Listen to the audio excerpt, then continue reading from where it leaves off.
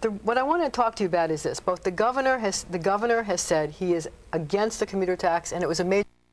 I mean, this is the question: What are the other alternatives, Peter Jr.? There are no other alternatives, and that's why none of us will give up on the take our 80% from the federal. Some, I'll tell you some. Hey, that's not an option. You're not getting it. They should at least be private sector for construction jobs. So you know.